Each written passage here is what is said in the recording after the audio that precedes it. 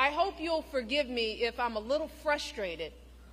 that some of us are choosing to ignore Donald Trump's gross incompetence while asking Kamala to dazzle us at every turn.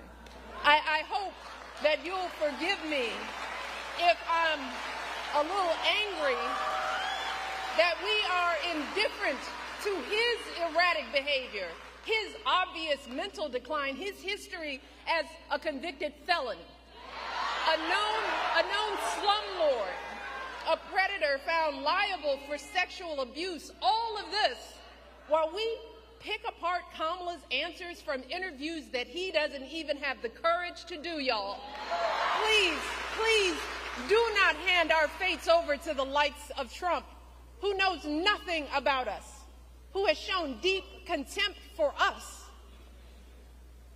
Because a vote for him is a vote against us against our health, against our worth,